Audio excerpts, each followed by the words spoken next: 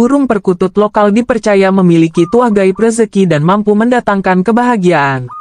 Burung perkutut Larasati termasuk satu di antara perkutut Katuranggan, ciri khas lokal yang cukup langka dan sulit ditemukan.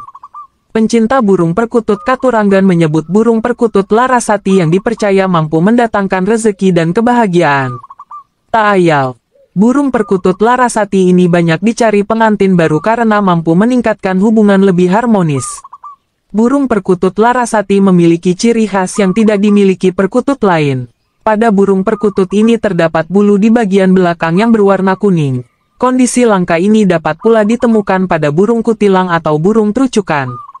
Bulu berwarna kuning ini akan terus tumbuh meski dicabut ataupun proses mabung pergantian bulu, dan tidak akan luntur meski telah berkali-kali dimandikan. Tak hanya itu keindahan burung perkutut Katuranggan Larasati dapat terlihat dari alis mata yang berwarna kekuningan. Walaupun suara burung perkutut lokal tidak semerdu burung perkutut Bangkok, perkutut Larasati diburu kolektor karena tuahnya.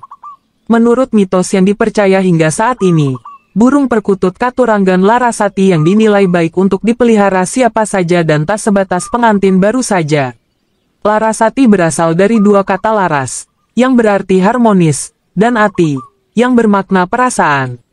Larasati dapat diartikan sebagai keseimbangan hati atau selaras dengan hati. Sesuai namanya, burung perkutut cantik ini dipercaya memiliki tuah untuk kedamaian, kebahagiaan dan membuat rumah tangga semakin harmonis.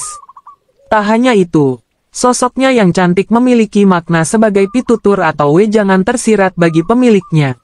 Bahwa untuk mendapatkan kebahagiaan dan hidup tenteram maka segala sesuatu harus berasal dari dalam hati.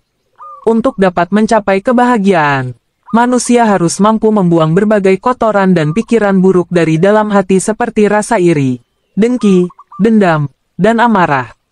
Menurut tradisi primbon dan kejawen, manusia yang mampu menyingkirkan penyakit hati dan selalu berlapang dada dalam kondisi apa pun, akan lebih mudah mendapat ketentraman dan kebahagiaan dalam hidup. Tak sembarang orang dapat memelihara burung perkutut Larasati ini. Untuk merasakan tuah burung katuranggan secara maksimal, pemilik harus mampu selaras dengan burung perkutut yang dipelihara. Selaras dalam arti dapat memahami makna dan maksud dari perkutut katuranggan dan menerapkannya dalam kehidupan sehari-hari.